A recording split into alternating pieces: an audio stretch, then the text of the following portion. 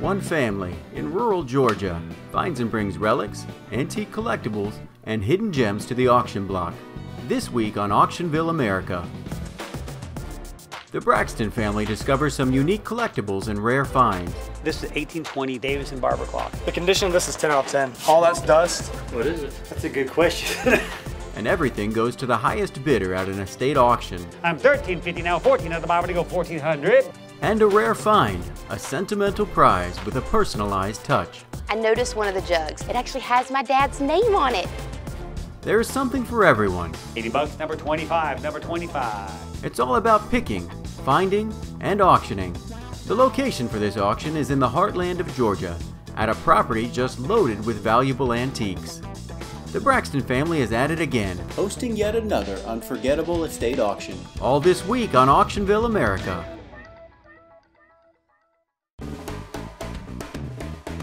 Last call, 50 bucks and go and go 50, 50, 50. As soon as Braxton's company, Auction 78, is contacted, they begin the long process of preparation with one final goal in mind. Auction day. So $45, number 401, number 401. We come in, we meet with the executor, we sign the contract, and we start staging, photographing every sellable item in the house. Good stuff goes to live online bidding, and then we take everything and put it up for public auction. Anywhere from 1,000 lots to all the way to 2,000 lots will be sold at this auction. $35, yeah, number 437. One of the best things about our company is finding treasures. We love finding historical treasures, especially related to the estates, selling them and getting the most money we can for the executor, making the seller happy, making the buyer happy is our goal. Told you bought it right there. $700, number 413. But making the buyer happy requires a lot of help. So what I do is I kind of partner with Dad. So when he has estates, I go out and look at them. So on this estate, actually, me and him came out together. But sometimes I go on my own and look at the estates and appraise the estates and come back to Dad and tell him, man, this is good, or you don't want to touch that. Cool. That's awesome. I've been working with Auction 78 now for a year but I've actually been attending their auctions for 30 years, ever since I was a little bitty girl. I begged Braxton for a job. He wouldn't give it to me. He didn't even think I was serious. But finally we convinced him, and now he can't get rid of me. I've been working for Braxton for about seven years, and when we have an auction, I kind of manage the floor uh, and help the guys get organized and put everything together so it runs smoothly. I am a cashier here. Sometimes I clerk. I'm the one who handles the money, and also I have the looks. So that's what brings a business.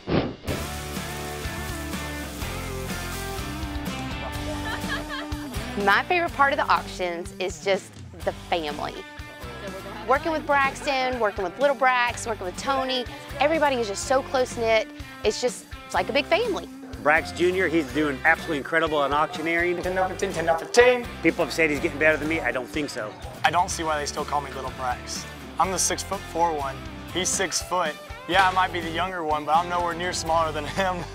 My role here at Auction 78 is filtering phone calls and bringing in your stuff. And when you bring your stuff in, you may not like what I have to say, because if you got junk, it's gotta go. And it's sort of cool when you go to different new places and they're like, well, what does your family do? And I'm like, well, we own an auction house and my parents auction. They're like, oh, so they talk fast. 100 now, 110, bit of 110, bit of 110, bit of 110, 10, 10. That's all my friends know that my parents and my brother talk fast. 25, 29, 25, 29, 25, 29, 25, 25 in the back. Now 30. Southern Railroad. What is it? That's a good question. We are always excited about finding new things and finding things we really don't know what they are, and we have to ask each other, hey, what's this? Now, there's a lot of things I don't know what it is. A lot of stuff. What's that? Think about it. Railroad company. Think about what it could be. Fire bucket? It is, but it's a fire bucket. Because technically you never have to set a fire bucket down because you're scooping and throwing. Yeah. So that's why it's shaped like that. It's a railroad company fire bucket. So when there's a fire, you scoop out the oil or whatever and you throw it on there. I just love seeing things that uh, you just never see. And uh, in this house here, there's item after item that I've just never seen before. And it's just really neat to see unusual things like that. Get her picture. Get her Plaster picture. it all over Facebook. Do it everywhere. We have a gas mask, and it's an original gas mask from World War II. It is totally steampunk. It is super awesome. Warning. Yes. Purpose of this canister is to purify Okay. under open air conditions against ammonia, carbon monoxide, or large quantities of gas or vapor have been released. You didn't have any flatulence over there.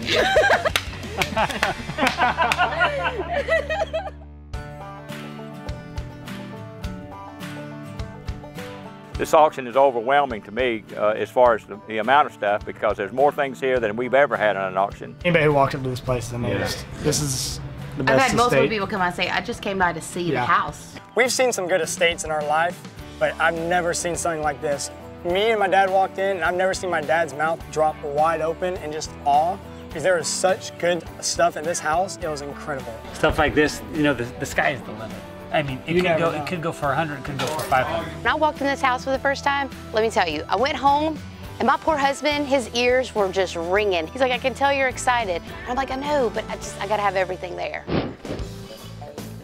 Before anything gets sold, they have to find out what's sellable and what goes to the dumpster. That means going through the contents of the entire estate. We got a lot to do, so we got to go get it done and get it going.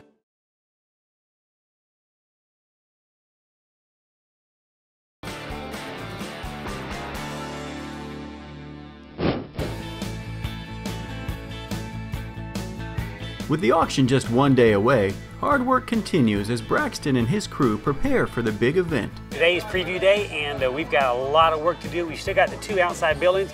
We have to get completely empty. We don't know what's in them. We're going to go dig through them, get all set out under the tent. We have to also make sure security's set in place for parking set in place. Tomorrow's the auction day, and uh, got to get it all set up and get it going. So let's go. All right, so here's what we got to do is all that stuff, we're going to separate that, put all that stuff into rows. If there's anything good in that, I want down under the tent number two, and then we're going to go to the shed and we're going to empty that out. The general stuff from the shed is going to go here. The quality stuff from the shed is going to go there. And then any furniture is going to go back in the furniture side. Okay. All right. Awesome. All right. Let's do it. All right. Let's go, boys.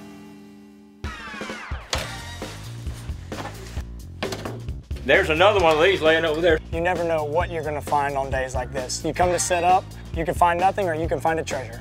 We were digging out the barns, making sure the sheds were cleaned out. And we didn't really know what was in them. We had gone in and looked. Hey, look what I found. Look at that, man. That's killer. Look at that. But when we started digging under the layers of paper, we found Coke sign after Coke sign after Coke sign. And that was really neat to see things that were hidden and they were in really, really, really good shape. There's another one. Check it out. Dad, this one's porcelain. 1942. Woo! Lord, that's a good one. That's awesome. Are you kidding? The condition of this is 10 out of 10. All that's dust. That sign, 1,000 plus, easily. Finding signs like that, uncovered, untouched for 30 years, covered up in layers of dust, it just don't happen. My favorite piece is that knife urn thing right over there because I've never seen one like it before. Those right there? Yeah, that one. It's a knife They're urn. knife ferns. This is what they kept their cutlery in. And that way you keep it all safe. These are probably, if I had to put it, 1840s, 1850s, 1860s. Those are? It's probably going to be the highest priced item sold at the auction. It could go two, three, four thousand dollars, somewhere in that range. That's why we let the people decide. The first time we came, we went down into the basement. And, you know, basements are a little spooky, but not this one. The walls were just lined in beautiful pottery, beautiful southern pottery. But as we were going through them, I noticed one of the jugs and it spoke to my soul. It actually has my dad's name on it. You know how many times you've told me you're going to buy something? Take it to the didn't bank. Take it to the buying bank. it time, and I what is it? I'm buying the Julian jug. The Julian jug. What Take is that one? It's right over here. You want to see it? Yeah, I want to see it. At some auctions, we find stuff that connects to us personally, and there's a jug up there that's from Atlanta, Georgia. It's from Julian's Distillery Company. And Nicole's had her eye on it for a long time because it has her father's name on it who died 11 years ago. You can take it to the bank. It's going home with you. It's me. going home with you? It's going home. How much are you on pay? During, I got an empty credit card.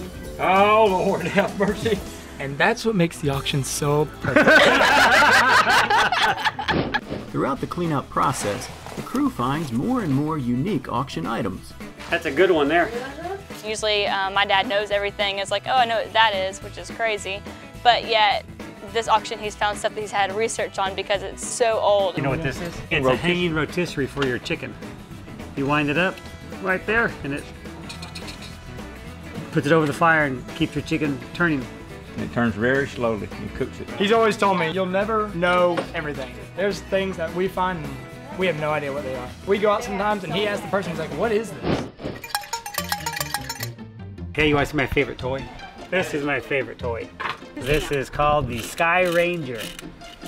Wind to stuck her up. Start it. I mean, the plane actually takes off. Watch it.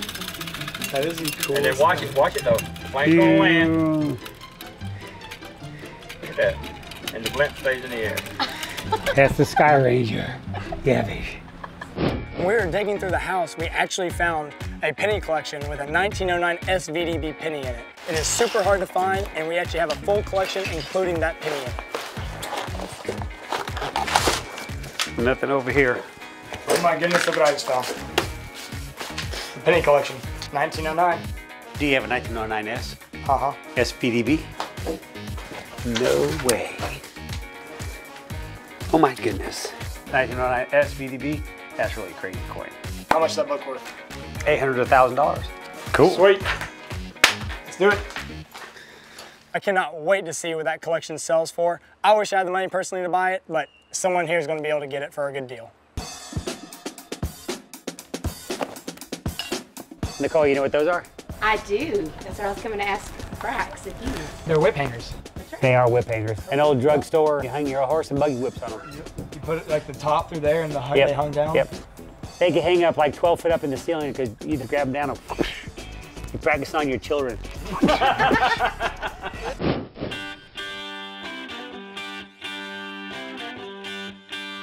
One of the more notable finds in the cleanout was a large collection of ornate antique clocks, many of them still in working condition. Now this is a nice clock right here. This is 1820 to 1830, 32, 35 right in that window. Eight day Davis and Barber clock. Weights hang right here on the side. They got little dust cover caps on the top of it and a nice little pendulum. And if you go down over a block or two and over one block, right behind it was an old building and that's where these were made. Beautiful clock. This thing here should hit by well over a thousand dollars. With all the cleaning, sorting, and heavy lifting out of the way, the crew is ready for the auction. Today was the last day of setup. Me and my friends came in to help Dad finish things up. We cleaned out a barn or two, found some cool treasures, including those Coke signs. But tomorrow is the first day of auction, when it all comes together, and that's when we find out what everything will sell for. We're really pumped about it. It's going to be one of the best auctions we've had in the 35 years of our company, and we cannot wait. One thing about auctions, you never know who's going to show up. We're expecting a pretty good crowd. We've done a lot of great marketing for it. Local front page newspapers have been out here. A lot of online marketing, a lot of Atlanta marketing. We've done these before, and I've had literally 20 people show up, and I've had 300 people show up. So tomorrow's probably going to be somewhere in the middle, but uh, it's going to be fun, and no matter what, it's going home to somebody.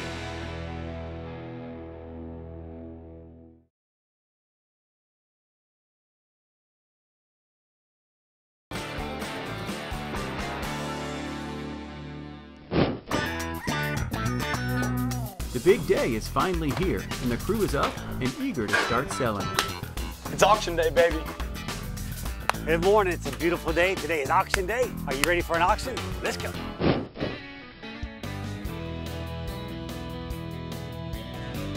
All right, nine o'clock. Everybody ready? We couldn't have ordered a better day than this. Absolutely beautiful. So here we go. Item number one, Marx wind up duck. Let's go. Start off and I got 25, now 30, 25, now 30, be 30, be 30, be 30, 25, $30. Anybody want to go 25, want to go 30, be 30, be 30, want to go 25, now 30. The last call, be 25, now 30, be 30, be 30. Sold $25, number 499, number 499. With the first item off the auction block, the action heats up as Braxton's favorite toy comes up for bid. One of my favorite ones. It's a little Sky Ranger. How much here? I'm 35, now 40. 35, now 40. 40, now 45, now 50, now 5, now 60, now 5, now 70, mid 70, now 5, 5, 5, 75, 75, 75. Guys, great color. 70 here, now 75, now 80, but 80, now 5, 85, 85, 85, 85. Last call, $85. 80 bucks, number 25, number 25. With the crowd warmed up and ready to spend some money, it was time to start auctioning the high dollar lots. What we got up for bid is lot number 668, 1909 to 2007 penny. Guys, we found this in a box in the basement. I don't even think they even knew what they had on it. It's got the 1909S and the 1909S VDB. So those of you who know what it is, lift your eyes up here. How much here? I got 400 now 5. Want to go 4, 500, but 500, but 500, but 500. 500 now 6. Want to go 5, Yep. 6, 6, 6. Now 7, 7, 7, 7, now 8. Bit at 8, bit at 8, bit at 8, bit at 8. Now 9. Want to go 9, bit at 9, bit at 9, bit at 9. Now a 1,000. Want to go 1,000, now 1,000, Yeah. 1,000, now 1,050. 1,050. Now 1,100. 1,050, now now $1,100, $1,100 to buy. 1050 you want to go $1,100 to buy, want to go $1,100 to buy. 1050 now $1,100. $1,100 to buy. You guys know what you're buying. The one penny is almost worth that by itself. 1,050 now 1,100. Last call going once. 1,050 asking for 1,100 going twice. You bought it right there. One of the highlights I loved seeing was that penny collection, and I'm so glad I went to a great home. I wish I had the 1909 SVDB in my personal collection, but it went to a good home today. So the jug Nicole's had her eye on with her father's name's about to come up for auction. Who knows what it's going to go for? Me put me in about 100 bucks and go. Want to go? I got 100 now. 150. Yep. One 200. Want to go 200 now? Two and a half and two and a half and now three. Want to go three three three. Want to three three three. 250 now three. Have a 275. Want to go 275. Uh-oh, Want to go might get lucky. 275 now? 275. Hear the whistle. 250 now. 275. 250. Want to go 275. Want to go 275. Want to go 275. One time 275. Now three. Yep. 300 bucks now. 325. 325 now. 325. Are you giddy? 300 now. 325 now. 325. 325. 325 now, 325 now, 325 and 325. Last call. Everybody happy at 325 and 325? You bought it, $300. I got my check! my dad passed away 11 years ago, and when I saw it, I knew I had to have it. So I got it. So glad that Nicole got the Julian jug. That way she can remember her father and uh, just enjoy it. And every time she sees it, she has a great memory. When the high value knife urn came up on the auction block, the crew's competitiveness came out. This set, I think this set's going to go for about 1500 to 1700 bucks. Um, I'm gonna go lower, even though I wanna go higher, but I'm gonna say 1200 to 1300. 1500 to 1700. Watch it happen. This is the set y'all been waiting for. One of the best sets of the night. Early 19th century, probably 1820s, right in that window. It does not get any better than this. We've actually seen them online in a couple places, well over in multi-thousand dollars in the five, six, seven thousand dollar range. All right, lift your eyes up here. How much here? I got him at 650. This goes seven and a half, 800, 800. Now 900. Want to be nine minute, nine minute, nine minute, nine. Now a thousand, a thousand dollar to buy. Want to go thousand dollar to buy, but 900 now a thousand. You want to go nine now, a thousand dollar to buy. Want to go thousand dollar to buy. Now 12 and a half. Want to do 12 and a half now, 1500. Want to go 1500 to buy. Want to go 1500 to buy. Want to go 1500. 12 and a half now, 1500. Want to go 1500 to buy. Want to go 1500. 13, 13, 50, 13, now 14, 14, a bit of 14, bit of 14, bit of 14, bit of 14, bit of 14 hundred dollars. You're not gonna find another set, 1400, we're gonna go 14, bit of 14, bit of 14. I'm 1350 now, 14 of the buy, we're gonna go 1400 buy, bit of 14 of the bit 1400. Last call, 14, now 15, 14 and a half, now 1500, we're gonna go 15 and a half, 15 and a half. I get, I'm You're way to go. wrong. 14 And I'm right. 1500, we're gonna go 1500. He's out. Last call, I'm with you, 14 and a half. Anybody else wanna go $1,500? Guarantee you're not gonna Yeah. find another set. 15, new bidder. 16, I'm gonna jump it up. 1700, it's worth every penny. 1700, 1700, 1800, 1900. We got new blood We're in. both wrong. I wanna go 1900, I wanna go 19, a bit of 19. Now 2000. You wanna go 2, wanna go 2, now 2100. Wanna go 21, 21, 21, 21, and 21. Now 22. 2200, wanna go 23, and 23, and 2300. Last call. 23 going once. $2,300 going twice. Yep, now 24. 24, bit of 24, bit of 24, bit of 24, 24. The last call, 2,400 bucks. Going once, going twice. You buy it for $2,300 right there. There you go. It looks like we're both wrong. The big money didn't stop there. When the locally made antique clocks went up for bid, prices skyrocketed as bidding wars waged. Guys, lift your eyes up. Davis and Barber, a triple decker, eight day brass movement, a beautiful dial on it. Y'all just start me at a thousand bucks. You know we're coming right back by it. Thousand bucks and go. What- I got a thousand. What about 1200? Now 14, now 16, now 18, 2000, 2200, 24, 2600, 2800, 3000. You want to go 3000? Want to go 3? Now 31, now 32, 32. Want to go 32? Now 33, 33, 34, 3400, now 35, 3500, want to go 35, and now 3600.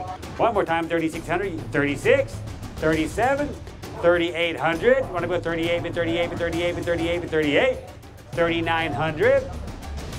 4,000. You want a four bit of four bit of four bit of four bit of four bit of 4,000. You want a four bit of four bit of four. 4,000 going once, going twice. You bought it right there for $3,900, 2570. Don't drop it. Today has been a great day for selling clocks. You could have never told me they would have brought three or four thousand dollars each. The best Greensboro clock we had was a triple decker with column and splats on it, and uh, it started about 800 bucks, and I thought it was gonna go for about 1,000, 1,200 bucks, and then it got caught between a bidding war, and he paid right at $3,900 for the clock. Who pays that much for a clock? I would never pay that much for a clock. Anything uh, concerning Greensboro, I'm interested in. Once you live here, you never really move away. Great collection for his and a great price for the seller. You never know with the auction.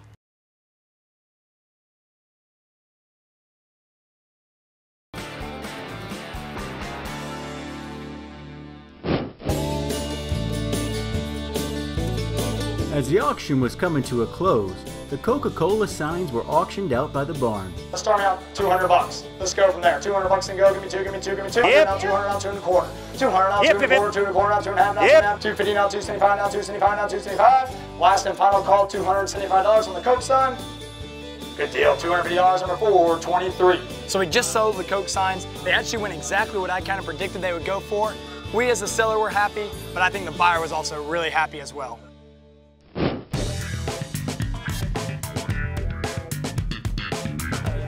I'm glad that's over with. That was a good day, long day. 698 lots in about eight hours.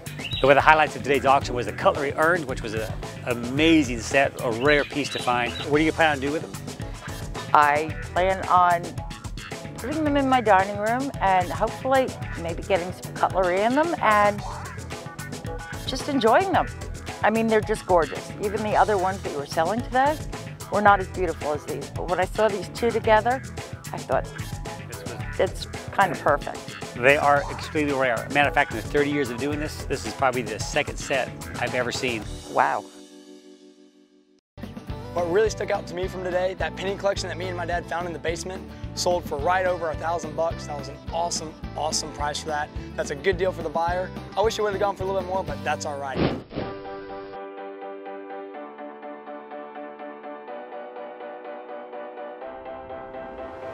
We had a great team come together. The, uh, the family worked together, all the staff, all the employees did great. Everybody did their job and it flowed extremely smooth, and that's the way I like it. At the tail end of everything, we as Auction 78 are so thrilled to have this estate. It's been an amazing day, it's been an awesome experience, and we cannot wait to come back and do another auction here in Greensboro. This was probably one of the bigger sales that we've ever done in our 30 year history. The property itself is incredible, a 7,000 square foot Victorian house with cellars and slaves cabins and quarters. Uh, you're never gonna find this again.